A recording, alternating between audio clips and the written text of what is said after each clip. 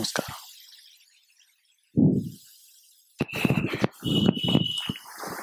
அனைவருக்கும் வணக்கம். நேரடியாக சந்நிதிக்கு வந்திருக்கும் உங்கள் அனைவரையும் மெய்ஞான பல்கலைக்கழகம் அன்போடு வரவேற்கிறது.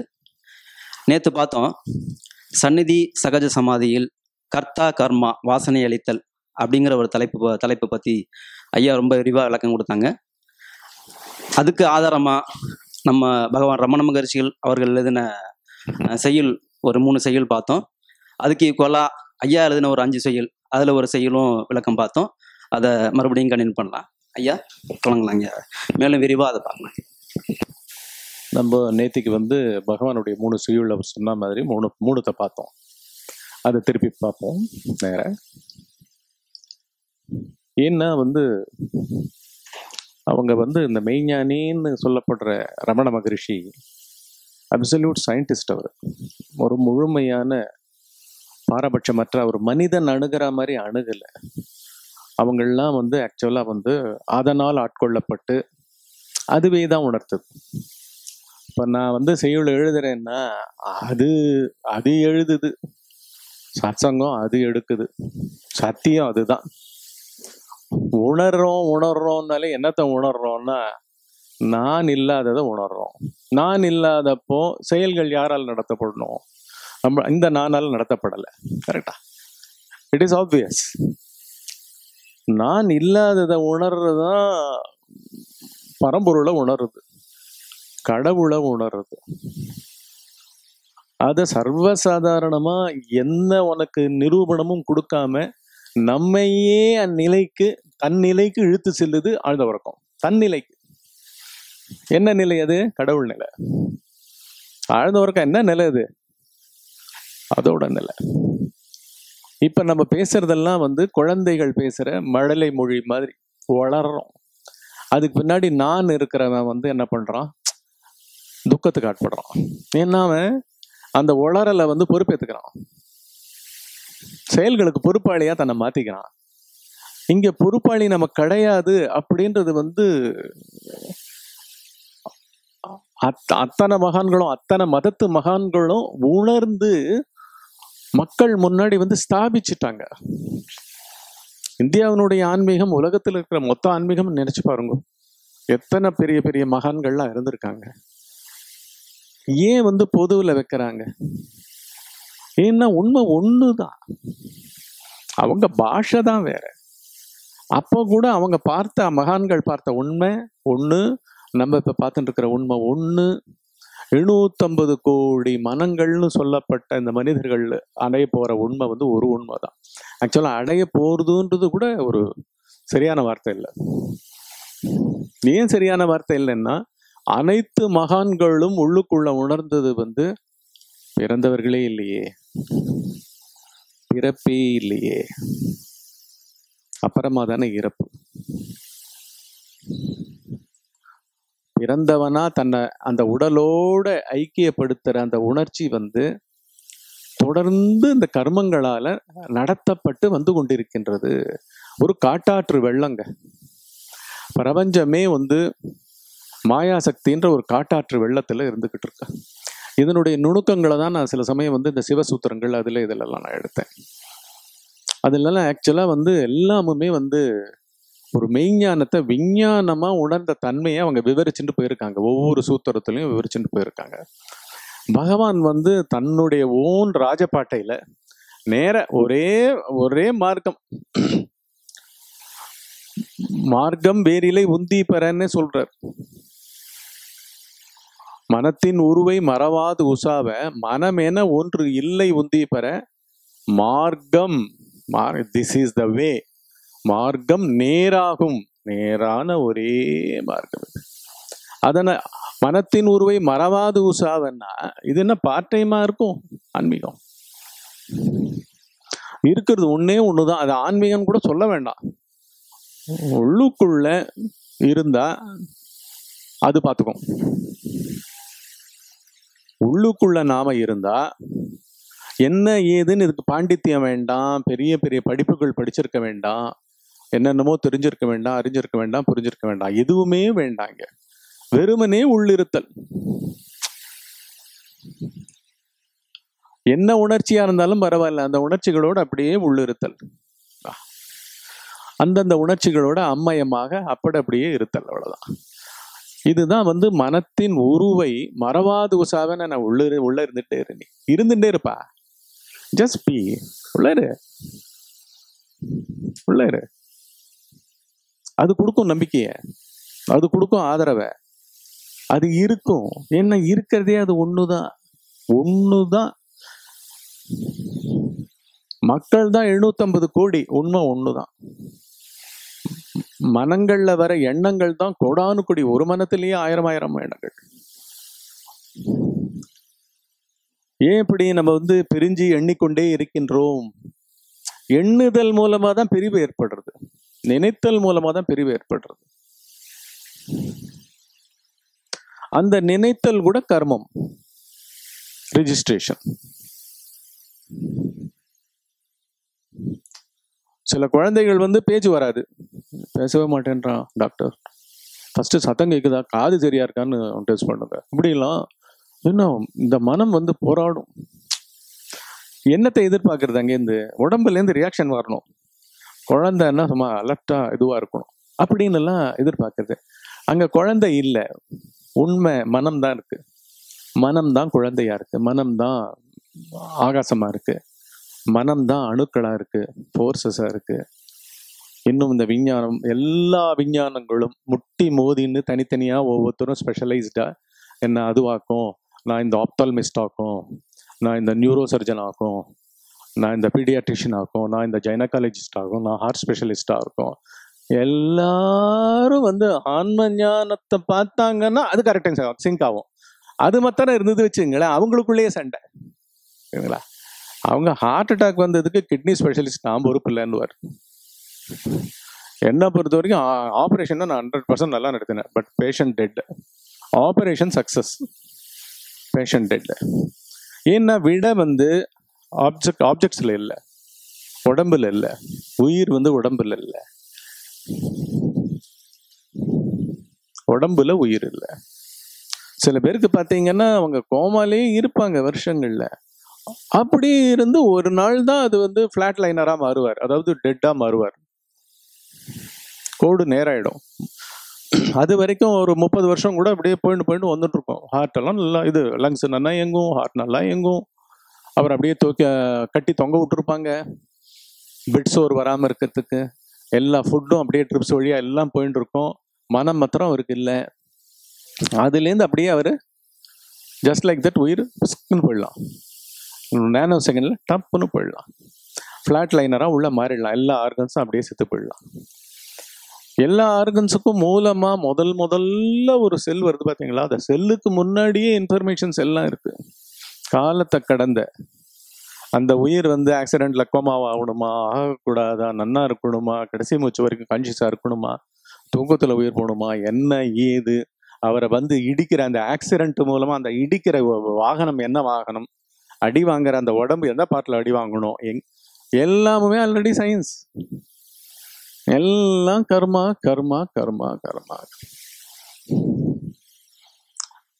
அதை தான் வந்து கம் கம்ப்ளீட்டாக மேக்ரோ காஸ்மிக்காக பார்க்குறாங்க மெய்ஞானிகள் இந்த கர்மம் அதனுடைய பலனை வந்து கர்மம் கொடுக்கல. நான் நல்லது பண்ணேன் எனக்கு நல்லது நடக்கணும். நான் நல்லவனாக இருக்கேன் எல்லாத்துக்கு பின்னாடி மோட்டிவ் ஏன்னா நான் நல்லது பண்ணேன். நல்லது பண்ணேன்றதுக்கு மாத்திரம் போய் சேர்றது நான். ஆனால் நான் எது எது வந்து நல்லது செய்து கொண்டிருக்கின்றது அப்படின்னு தெரியாது. நான் செஞ்சதெல்லாம் நல்லது. ஆனா எனக்கு என்னமோ ஒரே கஷ்டங்களா வருது. நான் செஞ்சதெல்லாம் நல்லது எனக்கு என்னமோ கஷ்டங்களா வருது. ஸோ நான் எனக்கு இதுக்கும் அந்த இந்த இந்த இந்த ரெண்டு நான் என்னை என்னால் என்னோடு எனக்கு என்னுடைய எண்ணில் இந்த குரூப்பை பூரா நீ என்ன பண்ணிட்ட? செய்கின்ற வேலைகள்லையும் உடம்பா செய்கின்ற வேலைகள்லையும் அஞ்சு புலன்கள் மூலமா நீ ஏற்றுக்கொண்ட திறமைகள்லையும் கர்மேந்திரியங்கள் வாக்குல நீ பேசுற திறமை திறமைகள்லையும் யோசிக்கும் விதத்திலையும் அறிவெல்லாம் நம்ம விற்கிறோம்ல படிப்பு சொல்லி கொடுக்கறது அப்படின்றதெல்லாம் கிட்டத்தட்ட வந்து your selling your intellectual capacity கரெக்டா புத்தியினுடைய திறமைகளை விற்கிறது தானேங்க எல்லாமுமேங்க வியாபாரம் தானே எல்லாமுமே. ஒரு டாக்டர் படிப்பு ஒரு என்ஜினியர் படிப்பு ஒரு ஐடிக்கு உண்டான படிப்பு எல்லாமுமே கற்றுக் கொடுக்கப்படுகிறதா இல்லையா? அப்படின்னா புத்தி மூலமாக உணரப்பட்ட அறியப்பட்ட புரியப்பட்ட தெரிந்து கொண்ட அனைத்துமே வியாபார கடைச்சரக்கா எதால் செய்யப்படுகிறது? நான் எனக்கு அதை வச்சுட்டு என்ன பண்ண தெரியும்? தன்னையே ஒரு ப்ராடக்டா நினைக்குது. தன்னையே செல் பண்ண பார்க்குது எப்படி வேணா யார் வேணா எடுத்துக்கங்கப்பா எவ்வளோ ஹையஸ்ட் பிட் வருது ஹையஸ்ட் டெண்டர் வருது. இதுதானே நம்ம வாழ்க்கை? ஒவ்வொரு குடும்பமும் இதுதானே வாழ்க்கை? ஆணும் பெண்ணும் எழுநூத்தம்பது கோடி மக்களையும் சந்தி சிரிக்கிற மாதிரி வெள்ள குழந்தைக்கு வச்சுட்டு தான் இல்லையா இந்த நம்மளுடைய சயின்ஸ் ப்ராடக்ட் ஆகிட்டோமா இல்லையா? உள்ள ஒண்ணுமே இல்லை. இல்லவே இல்லை. ஒரு இல்லவே இல்லைன்னு சொல்றவனுடைய அடிப்படை எதுவா இருக்கு? அவன் என்ன சொல்றான் ஆக்சுவலா கடவுள் இல்லவே இல்லைன்னு சொல்றவன் என்ன சொல்றான் ஆக்சுவலா தூக்கத்துல அவர் இல்லையா? தூக்கத்துல அவர் செத்து பண்ண வரான். அப்புறம் அவர் அஞ்சாறு வயசுக்கு மேல அவருடைய ஞாபக சக்தி எல்லாம் வளர்ந்த பிறகுதான் அவர் வந்து இங்க இருப்பது மனிதன் ஒருவன் தான் கடவுள்ன்ற யாரும் இல்லை. அப்படின்றது என்ன? அஞ்சு வயசுக்கு அஞ்சு வயசுக்கு கூட அவர் இப்படி பேசியிருக்க மாட்டார். கரெக்டா எல்லாம் ஏற்றப்பட்டது. தூக்கத்துல அவர் இல்லை. அவர் இல்லைன்னா அந்த உடம்பு இல்லையா? அந்த உடம்பு இல்லைன்னா கடவுளும் இல்லையா? ஏன்னா இருப்பதே மனிதன் தானே அவர் சொல்றாரு. மனிதன்றவன் யாரு? அவரை பொறுத்த வரைக்கும் எண்ணங்களை வார்த்தையாக பேசிக்கொண்டிருக்கும் இந்த உடல். ஆக மொத்தத்துல உடல் ரூபமாகவும் பெயராகவும் இருக்கிறவர் தான் இருக்கிறவர். மீதி எல்லாம் இல்லை. சோ அதுல கடவுளும் இல்லை. அவர் ஒரு செல்லாலாம் அவர் கருவுக்கு வரல. புரியுதா? அவர் மற்றும் அந்த நாத்திகவாதிகள் என்ன பண்ணாங்க? அவங்க ஒரு செல்லா வரல. அதுக்கு முன்னாடி கர்மாவெல்லாம் கூட அவங்க இல்லை. அவங்க மாத்திரம் பொத்தேல்னு வந்து இந்த நாத்திகவாதம் பேசுற அன்னியிலேருந்து அவங்க பிறந்தாங்க. புரியுதுங்களா? அவங்களும் பிறந்தாங்க. அவங்களுக்கு உண்டான அந்த போதனைகளை சொல்லி சொல்லி கொடுத்தவங்களும் பிறந்தாங்க. இல்லாட்டி வேற எங்க இருக்கு சொல்லுங்க. அவங்களுடைய வாதம் எங்க இருக்கு சொல்லுங்க.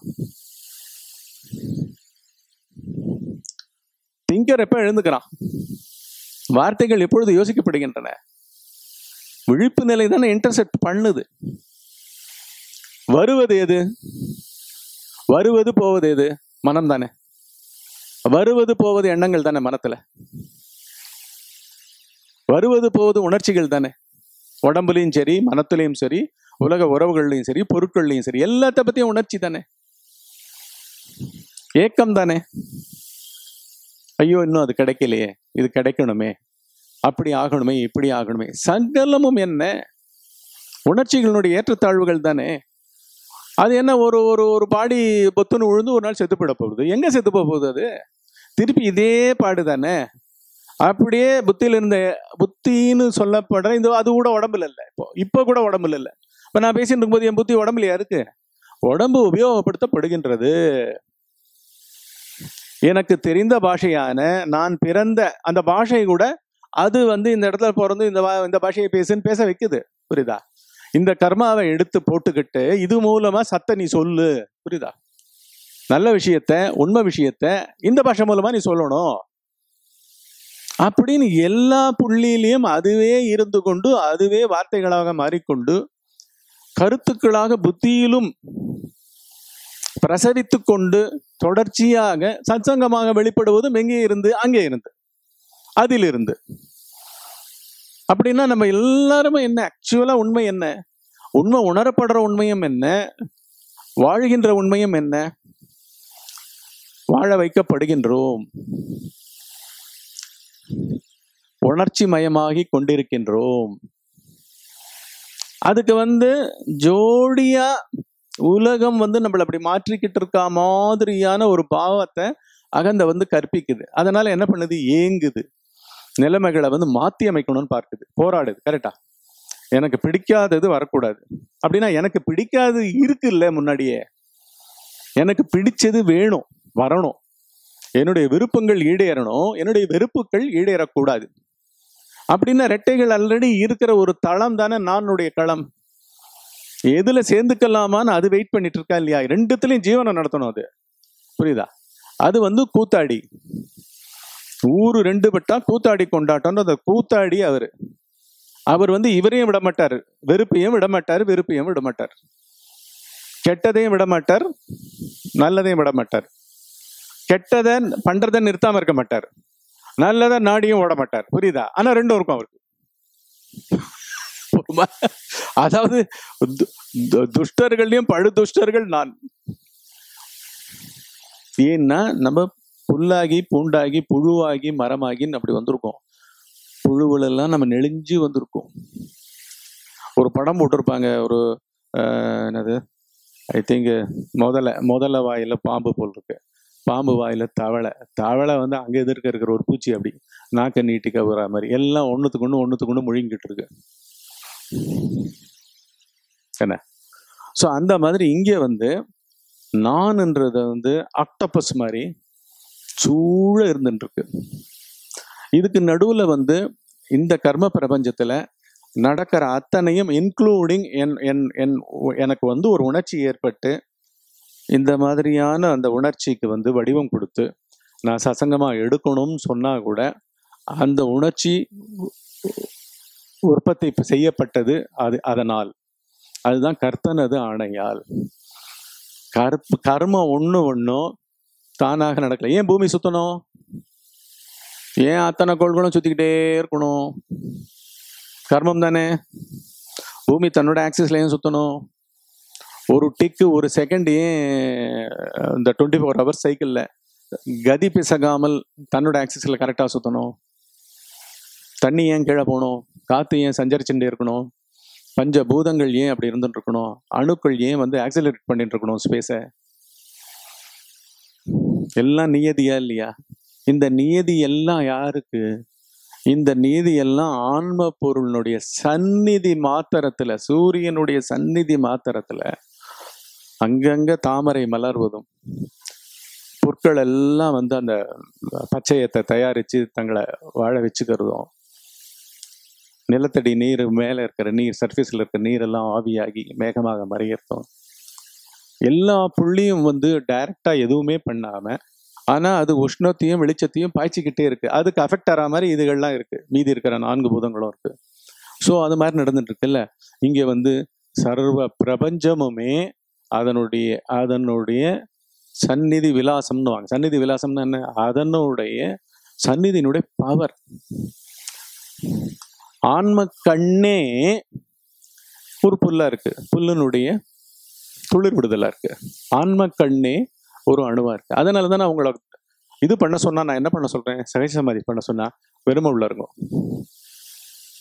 first of all you should not do anything there is no doer at all சத்தியம் அப்படி இருக்கு. அதுக்கு தான் பரிச்சயப்படுத்திக்கணும் நீங்க. நான் டூயிங் நான் டூயிங் நான் டூயிங் ஏன்னா இது ஜட பிரபஞ்சம். ஜட பிரபஞ்சத்தை சேர்ந்தது தான் இந்த ஜட உடல். இது வந்து சட உடல் சடம். இதுக்கு சுய அறிவு கிடையாது. ஆன்ம சக்தியினால வயிறு வந்து ஜீரணம் பண்ணிட்டு இருக்கு வயிற்றுக்குள்ள இருக்கிற செல்லு ஒன்று ஒன்றும் மனத்தினுடைய பவர் மாதிரி இருந்துக்கிட்டு நீ ஏதோ ஒன்று பேரா சொல்லிக்கோ. ஆளா நினைச்சுக்கோ. பசிக்குது இப்படி சாப்பிட்டாதான் பிடிக்குதுன்னா நினைச்சு அதே மனத்துல கற்பனையை வளர்த்துக்கிட்டு அதுக்கோசரம் வாழு உடம்புக்கோசரம் வாழு எண்ணத்துக்கோசரம் வாழு இங்க புகழுக்கோசரம் வாழு அதுவே போய் ஐயா அது வந்து உன்னோட நிழல்.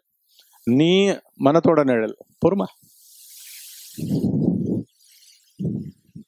எல்லா சீர்திருத்தங்களையும் நம்ம எங்க பண்றோங்க? எல்லாத்தையும் மாத்தி அமைக்க நினைக்கிற இடம் இது. எண்ணங்கள்ல தானே. எண்ணங்கள்ல தானே. ஐயோ அப்படி நடந்துடக்கூடாது இப்படி நடக்கணும். அப்படி நடக்கக்கூடாதுன்னா இப்படி ஒரு ப்ரோட்டோடைப் வச்சிருக்கோம். இப்படி நடக்கணும்னு ஒன்று வச்சிருக்கோம். இப்படி நடக்கணும்னா அதுக்கு ஆப்போசிட்டா ஐயோ அப்படி எதுவும் நடந்துடக்கூடாது அப்படின்னு அதையும் ஆப்போசிட்டா வச்சிருக்கோம்.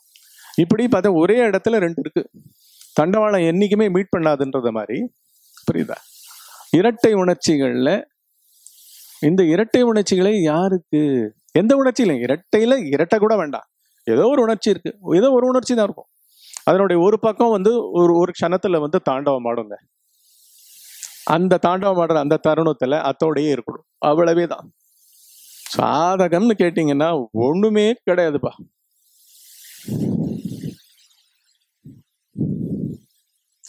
உலக உங்க மனசுக்குள்ள ஏத்திக்கிட்டு அந்த உலகம் உங்ககிட்ட இருக்க மாதிரி நினைச்சுக்கிட்டு அவங்களுக்கு ப்ரூவ் பண்றதுக்கு தான் ஆக்சுவலா நம்ம எல்லாரும் வெளில வேலைக்கு போறோம். உறவு கொள்றோம். கதாபாத்திரங்கள் எல்லாம் ஏத்துக்கிறோம். ஏன்னா உலகத்தை நம்ம அக்செப்ட் பண்ணிட்டோம். உலகத்தை விசாரிக்கல. உலகம் உள்ள இருக்கா வெளில இருக்கான்றதும் தெரியல. உள்ள இருந்ததுன்னா அது எப்படி இருக்கு மனமா இருக்கு எண்ணங்கள் ஏன் வருது? எண்ணங்கள் எல்லாம் வந்து வேல்யூ வச்சுட்ட சொற்கள். சொற்களுக்கு பின்னாடி ஏதோ ஆப்ஜெக்ட்ஸ் இருக்கு. உணர்ச்சி இருக்கு. புரியுதா? நான் வந்து ஒரு தேசத்துக்கோசரம் பாடுபடுறேன்னா அது ஒரு தேச உணர்ச்சி தேசப்பற்று தேசபக்தி. என்ன வேணா சொல்லுங்க. தேசம்ன்றது அந்நியமா இருக்க மாதிரி. ஸோ அங்கேயே ஆரம்பத்திலேயே நீங்க எல்லாம் பார்த்தீங்களா அந்நியத்தன்மைகள்லாம் செட் ஆயிருக்கும். அந்நியத்தன்மைகள் செட் ஆன உடனே ஒரு அந்நியத்தன்மை இது மாத்திரம் வெளில இருக்குன்றது இல்லை. சர்வமும் வெளில இருக்கு இப்போ. போருமா சொன்னீங்கல்ல நீங்க. கொஞ்சம் சும்மா இருந்தேன். திடீர்னு ஒரு எண்ணம் வந்தது. என்னடா அது வந்ததுன்னு பார்த்தா டப்ப டப்ப டப்பன்னு நிறையா வருது. பார்த்தா கொஞ்ச நேரத்தில் பிஸியாக இருக்குது தாட்ஸ் அதே போல் இங்கே மொத்த பிரபஞ்சமும் உள்ளே வந்துடுது விட்டா உள்ள வந்துடுது புரியுதா? இப்போ கான்சியஸாக விட தெரியணும். நம்ம எப்படி போனோம்? கான்சியஸாக தேடி போனோம். அகந்திய பிரிக்கணும். கரெக்டா அது இருந்தாதான் நான்றவனுக்கு இந்த மாதிரி மதிப்பு கிடைக்கும். இது இருந்தாதான் இவன்றவனுக்கு இந்த மாதிரி மதிப்பு கிடைக்கும். தேடி தேடி பிடிச்சோம்ல தேடி தேடி உள்ளெல்லாம் தேடி தேடி அத்தனை பேரையும் களையணும். சாதகம் கஷ்டம் இல்லை. ஒரே சாதகம் தான் சந்நிதியில் அதனுடைய ஃபைன்னஸ் வந்து இம்ப்ரூவ் ஆகிட்டே இருக்கும். ஏன்னா ரொம்ப அதி முக்கியம் சந்நிதி.